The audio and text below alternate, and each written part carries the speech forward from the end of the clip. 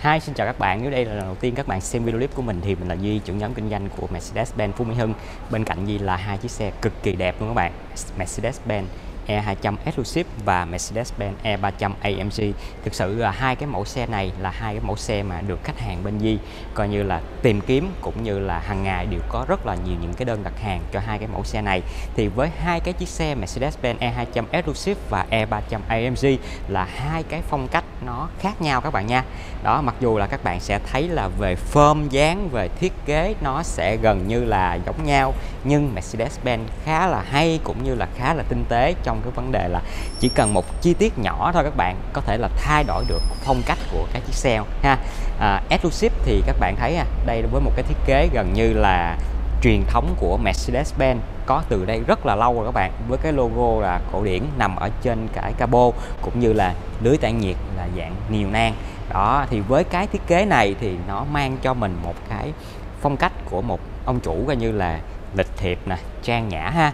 Và AMG là một cái thiết kế dành cho những ông chủ đam mê cái phong cách thể thao cũng như là những, dành cho những cái cái bạn thích là cái cái sự năng động cũng như là cá tính trong cái phần thiết kế nè. Thì các bạn sẽ thấy là Mercedes-Benz ha, chỉ cần thay đổi ở cái phần khu vực cản dưới nè, một một chút xíu ở cái phần là lưới tản nhiệt ha, thì các bạn đã thấy rồi ha. Nó đã thay đổi hầu như là hoàn toàn cái phong cách rồi. Đó phần còn lại thì các bạn sẽ thấy ở cabo hoặc là ở phần đèn xe, nó cũng sẽ gần như là giống nhau hết thôi, không có gì khác hết. Đó, thì có rất là nhiều những anh chị khách hàng khi mà đến bên Di cũng như là phân vân không biết là chọn Mercedes-Benz E200 Exclusive hay là E300 AMG ha, thì cái clip này hôm nay Di sẽ cho các bạn xem thật là kỹ. Hai cái chiếc xe này nó sẽ khác nhau như thế nào.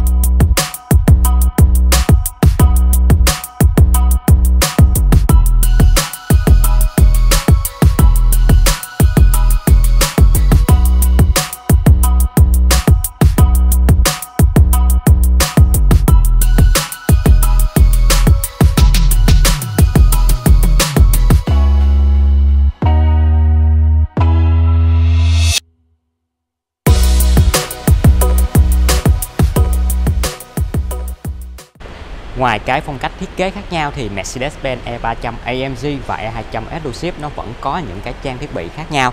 Thì bây giờ Di sẽ cho các bạn xem thật kỹ hai cái chiếc xe này nó sẽ khác nhau như thế nào. Đó, về phần đầu xe phía trước thì các bạn sẽ thấy ở đây có một cái camera đồng nghĩa với việc là chiếc xe Mercedes-Benz E300 AMG của chúng ta được trang bị camera 360 độ, giúp cho cái người lái quan sát được toàn cảnh của chiếc xe của chúng ta khi đi vào trong những cái khu vực hẹp ha. Ngoài ra thì các bạn sẽ thấy là E200 Exclusive ở khu vực này nó cũng sẽ không có cái camera nào hết. Bởi vì là E200 Exclusive của chúng ta chỉ sử dụng là camera lùi ở phía sau. Đó và tiếp theo nữa về phần đèn xe nè các bạn sẽ thấy nè thì uh, chiếc Mercedes-Benz E200 Exclusive của chúng ta thì sử dụng là đèn led thôi. À, đèn led toàn phần thôi các bạn nha. Đó trong khi đó thì Mercedes-Benz E300 AMG của chúng ta được trang bị cụm đèn với nhiều cái tính năng hơn đó là đèn pha multi beam led đó, thì với công nghệ đèn pha multi led này, thực ra là Di cũng đã có chia sẻ rất là nhiều trong những cái clip trước rồi. Và có thể nói đây là cái đèn pha mà tiên tiến nhất của Mercedes-Benz hiện tại bây giờ, cũng như là được trang bị trên những cái mẫu xe S-Class và Maybach luôn các bạn, nó sẽ giống nhau hoàn toàn luôn. Bên trong cái cụm đèn pha này, nó có tổng cộng là 84 bóng led với 81 chip điều khiển khác nhau. Có nghĩa là cái đèn pha của chúng ta có thể là linh hoạt trong mọi cái điều kiện đường xá khác nhau. Đó, còn linh hoạt như thế nào thì Di sẽ mời các bạn xem cái clip à, về cái công nghệ của cái đèn pha này. Di sẽ để cái link để cho các bạn tìm hiểu thêm ha. Đó, tiếp theo nữa là các bạn sẽ thấy nè trên cái phần cabo của E300 bởi vì đây là cái thiết kế dành cho cái phong cách thể thao, phong cách của AMG cho nên các bạn sẽ thấy là trên cabo nó có những cái đường gân dập nổi ha. Nhìn nó sẽ gân guốc hơn cũng như là ngầu hơn rất là nhiều. Trong khi đó thì E200 Exclusive của chúng ta với phong cách nhẹ nhàng hơn, thư thái hơn thì cabo của chúng ta được thiết kế nè. Nó chỉ có hai đường gân, hai bên và đường gân ở giữa thôi. Nhìn nó sẽ sẽ nhẹ nhàng hơn. À tiếp theo nữa các bạn Di sẽ mời các bạn đi về bên hông một chút xíu ha. Các bạn sẽ thấy là hai cái bộ mâm xe này nó cũng sẽ khác nhau, bởi vì đây là hai cái phong cách khác nhau mà các bạn. Các bạn hình dung thử ha, nếu mà cái E200 Exclusive này mà gắn cái bộ mâm của E300 AMG nó cũng không đẹp và cái E200 Exclusive này mà gắn cái bộ mâm ngược lại nó cũng sẽ không có đẹp bạn, bởi vì là hai nhà thiết kế người ta đã nghiên cứu rất là kỹ rồi ha.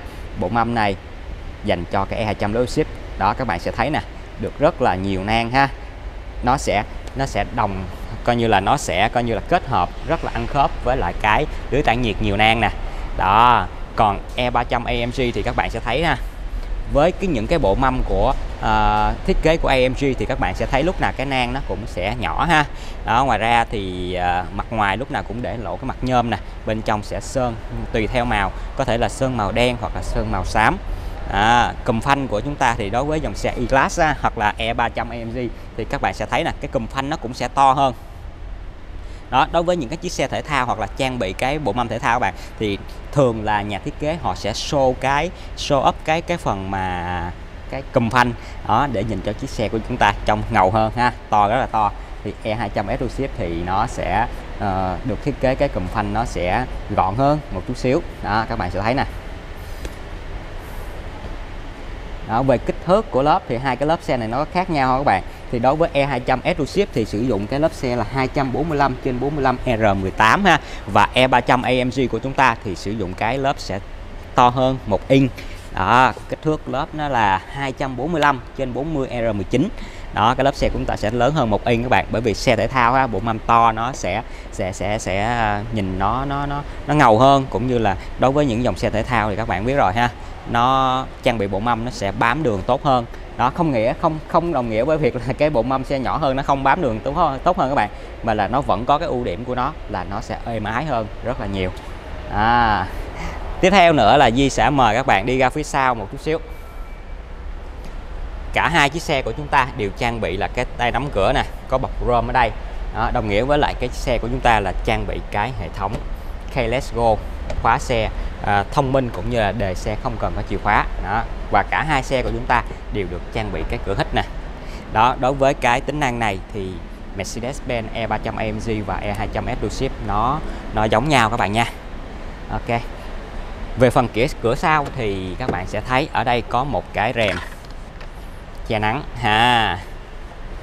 E200 Exclusive của chúng ta vẫn có một cái rèm che nắng ở đây à. Ok, bây giờ Di sẽ mời các bạn đi ra phía sau xem coi cái phần đuôi xe giữa hai chiếc xe này nó có khác nhau không các bạn. Thì thật ra thì về phần đuôi xe các bạn, nó gần như là giống nhau luôn, bởi vì đây là cái, hai chiếc xe là hai anh em mà, cùng một cái thiết kế giống nhau. Đó, đèn pha của chúng ta được thiết kế như thế này ha E200 ở đây. Đó, thì cái phần mà thiết kế ở phần đuôi xe chủ yếu là khác ở cái khu vực ở phía dưới này các bạn. Đó khu vực này ha.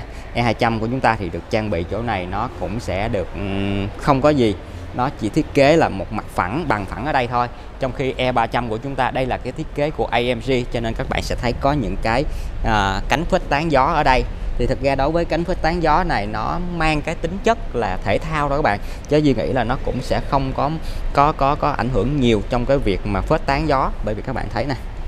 Đó bô xe kép vẫn là đối xứng hai bên đối với những cái dòng xe của Mercedes-Benz hiện tại bây giờ. Về phần cấp xe thì các bạn sẽ thấy là cấp xe nó cũng sẽ giống nhau thôi điều rất là rộng. Đối với dòng xe Mercedes-Benz E-Class thì các bạn thấy ha, cấp xe nó thiết kế còn rộng hơn cả dòng xe S-Class luôn. Mercedes-Benz E300 AMG và E200 Exclusive đều trang bị cái tính năng là đá cớp các bạn gãnh tay. Đó trước khi đi vào bên trong khoang nội thất của chiếc xe này thì à, ở phần mua xe các bạn sẽ thấy là E200 à, Exclusive thì sẽ không có cửa sổ trời. Bên cạnh đó thì E300 AMG được trang bị cửa sổ trời toàn phần. Có nghĩa là khi mà chúng ta nhìn à, từ phía trước hoặc là từ phía sau các bạn sẽ thấy là cái chiếc xe của chúng ta trong có hai cái tông màu ha, rất là đẹp. Đối với cái chiếc xe hiện tại là Di đang quay E300 AMG màu đỏ các bạn sẽ thấy là kết hợp với cái mua xe màu đen nữa ha. Nhìn cái chiếc xe cực kỳ thể thao luôn. Và tiết lộ với các bạn một điều nữa ha, là chiếc xe Mercedes-Benz E300 AMG này hiện tại là Di đang có xe sẵn. Một chiếc này màu đỏ thôi các bạn để mà giao xe đó. Thì uh, thực ra đối với những cái chiếc xe mà Mercedes-Benz các bạn thường sẽ thấy là màu trắng màu đen thì là chủ đạo nhưng mà bên cạnh đó đối với những cái màu sơn như là màu đỏ này thì rất là hiếm xe các bạn nha rất là hiếm luôn. Lâu lâu bên Di mới có một chiếc xe để mà giao. Về phía bên trong khoang nội thất thì các bạn sẽ thấy là E200 Exclusive và E300 AMG nó cũng có rất là nhiều những cái điểm khác nhau. Đó ở đây các bạn nha. Thì các bạn sẽ thấy là về phần thiết kế ở vô lăng của xe thì các bạn sẽ thấy là E200 à, Exclusive được trang bị cái vô lăng tròn thôi. Đó thì trong khi đó thì E300 AMG được thiết kế theo cái phong cách AMG cho nên là vô lăng của chúng ta sẽ là vô lăng đáy bằng. Đó và nhìn cái kiểu thiết kế của vô lăng cũng khác nhau nhưng mà trên cái vô lăng này nó có những cái tính năng và nút bấm cũng y chang nhau luôn các bạn nha. Cũng không có khác nè. Phong cách ừ, thiết kế của E200 Exclusive là thiết kế à, sang trọng lịch lãm thì cái bộ phận ốp gỗ cũng sẽ đi theo tương ứng các bạn. Đó là gỗ ốc chó màu nâu bóng. Đó, và trong khi đó là E300 của chúng ta thì được ốp gỗ màu đen mờ nè ha tạo cái cảm giác là thể thao cũng như là khi mà chúng ta sờ vào chúng ta sẽ cảm giác được cái độ sần của gỗ ha. Đó nhìn nó sẽ mộc hơn cũng như là nhìn nó nó nó nó có một cái cá tính là thể thao mạnh mẽ hơn. Đó. ngoài ra thì các bạn sẽ thấy ở cái khu vực mà giải trí trung tâm đó, cái màn hình đó các bạn, nó cũng sẽ, hai cái chiếc xe này nó cũng sẽ giống y chang nhau luôn, nó cũng sẽ không khác gì nhau hết. Đó, thì Di cực kỳ thích ở cái phần mà à, thiết kế ở bộ phận giải trí cho những cái chiếc xe Mercedes-Benz gần đây. Thì nhà nhà sản xuất các bạn Mercedes-Benz họ không không còn phân biệt là cái mẫu xe E180 hay là E200, E300 nữa. Cái trước đây á, thì thì thường nhà sản xuất sẽ chia ra. Đối với những cái cái cái dòng xe mà ở ở, ở cái bản đầu á, thì họ họ sẽ cho cái hệ thống giải trí nó nó nó nó đơn giản hơn. Và chỉ có những cái bộ phận giải trí coi như là à, đặc biệt hơn thì họ mới dành lên trên những cái cái cái cái cái mẫu xe dòng cao. Nhưng gần đây thì thì Mercedes-Benz trang bị coi như đồng loạt giống nhau hết luôn các bạn. Cho nên đây là một cái mà Duy cảm thấy là rất là trân trọng khách hàng của mình ha. Mặc dù E180 hay là E300 AMG đều sử dụng một cái tính năng giải trí như nhau hết. Đó Duy cực kỳ thích uh, đối với những cái xe Mercedes-Benz gần đây. Tiếp theo nữa là đây là cái ờ, đây là do cái E300 AMG cho nên là cái cái cái mẫu xe cuối bản các bạn. Cho nên là chắc chắn một điều là được trang bị cái loa Boommaster 13 loa, công suất là 590W bên cạnh đó thì E200 Exclusive của chúng ta thì trang bị cái bộ loa tiêu chuẩn thôi, ha. Thì thực ra đối với bộ loa tiêu chuẩn này nó cũng cực kỳ hay rồi các bạn nha à, ngoài ra tiếp theo nữa là về chất liệu da của hai chiếc xe này nó có khác nhau hay không? Đó thì thực sự nó cũng khác nhau luôn. E200 Exclusive của chúng ta thì trang bị cái ghế da Artico đó Artico nè các bạn. Thì Artico các bạn biết rồi ha nó dễ dàng vệ sinh hơn cũng như là sẽ à, rất là bền. Đó hay còn gọi là da nhân tạo đó. Ngoài ra thì E300 AMG của chúng ta thì được trang bị cái ghế da Nappa đó, cái da nắp ba thì các bạn biết rồi ha nó cực kỳ sang luôn cực kỳ đẹp và cực kỳ mịn nè. Khi chúng ta ngồi vào thì cảm giác nó mềm cũng như là mát đó, rất là thích. À, các bạn thấy là cái E300 AMG cái ghế nó cực kỳ đẹp luôn các bạn. Có thể nói là đây là một cái nội thất mà cực kỳ thích trên những cái dòng xe của Mercedes-Benz bởi vì là cái thiết kế này nó quá là đẹp. Các bạn thấy là những cái đường chỉ nó mai ở trên cái ghế ha tạo cái sự tương phản cũng như khi mà chúng ta ngồi vào cái ghế nó ôm vào người luôn rất là đã. À ok. Ngoài ra thì về phần mà ở khoang phía sau các bạn thì đối với E200 Exclusive hoặc là E300 AMG nó vẫn được trang bị cái uh, hệ thống máy lạnh ở phía sau luôn. Đó các bạn sẽ thấy nè người ngồi sau chúng ta vẫn có thể điều chỉnh được cái nhiệt độ máy lạnh riêng cũng như là cái trên cái cột chữ B này các bạn thấy nè nó vẫn có cái khe gió của máy lạnh nè. À, E200 Exclusive của chúng ta vẫn được trang bị tương tự như vậy luôn các bạn nó cũng sẽ không có khác. Vừa rồi thì Di đã cho các bạn xem cái bên ngoài cũng như là bên trong giữa hai cái chiếc xe E200 Exclusive cũng như là E300 AMG thì bây giờ Di sẽ cho các bạn xem tiếp theo là cái phần động cơ ha, trái tim của chiếc xe này. Đó, thì các bạn sẽ thấy nè, nó sẽ gần như là y chang nhau luôn các bạn. Đó, các bạn thấy về hình thức, về thiết kế ha, thực ra nó y chang nhau các bạn, nó sẽ không khác gì hết. Bởi vì là E200 Exclusive của chúng ta cũng như là E300 AMG được trang bị cái động cơ là 2.0 lít đó, nhưng công suất ở đây nó sẽ chênh lệch nhau một chút xíu ha. E200 Exclusive với công suất là 202 mã lực và E300 AMG công suất là 258 mã lực. Có nghĩa là nó trên nhau, đâu đó hơn 50 mã lực các bạn. Thì thật ra trên 50 mã lực thì nó cũng sẽ không đáng kể. Ngoài ra thì cả hai cái chiếc xe này đều được trang bị cái hộp số tự động là 9 cấp 9G Tronic, mới nhất và tiên tiến nhất của Mercedes-Benz hiện tại.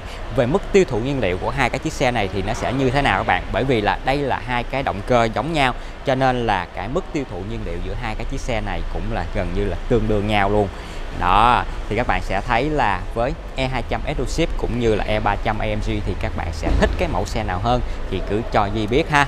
Ok, và bây giờ Di xin được phép là tạm dừng cái video clip tại đây đi. Nếu các bạn có bất kỳ những cái quan tâm nào đến những cái mẫu xe của Mercedes-Benz cũng như là E200 Exclusive hoặc là E300 AMG thì các bạn đừng ngần ngại gọi cho Di qua số điện thoại của Di là 091 465 3979 nếu các bạn thấy video clip của mình hay, đừng quên bấm like và share giúp mình. Đừng quên bấm nút đăng ký và nút chuông bên cạnh để cập nhật những thông tin mới nhất về tất cả những mẫu xe của Mercedes-Benz.